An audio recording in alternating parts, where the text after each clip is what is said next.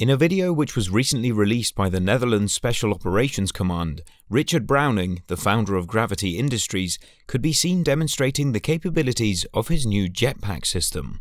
The main uses for the system are self-extraction from sticky situations and first response and rescue missions where using typical routes and tactics is not possible. One thing that I should note is that you have to be extremely strong and balanced to maneuver with this jetpack on your back. One wrong move, and you'll be flying around like a deflating party balloon. If Netherlands military decides to actually use this piece of kit in future, they could create a special squad called the Flying Dutchmen. If you enjoyed this video, please take two seconds to leave a like and subscribe.